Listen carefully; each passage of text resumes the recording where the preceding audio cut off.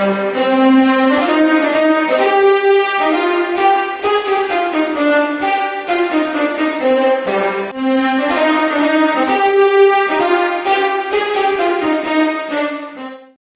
friends, I am Sameer Goyal. I welcome you at eKunji channel on YouTube. When your kids read about saponification and the cleaning function of soap, it is difficult for them to observe it. Today I am demonstrating how soap cleans with an amazing explosion of colors in milk. We need one plate, milk, food colors and liquid soap or shampoo for it.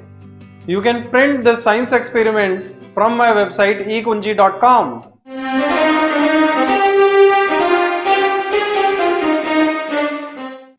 Pour milk in a plate and let it settle.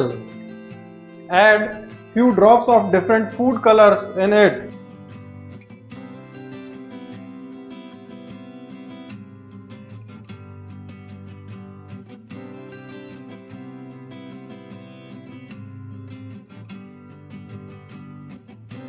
Now fill liquid soap or shampoo in a dropper and drip or drop over food colors in milk and see the magic.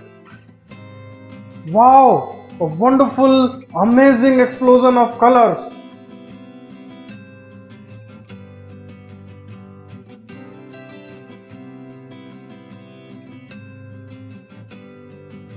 It happens because of bipolar nature of soap about which you can read in detail at my website ekunji.com.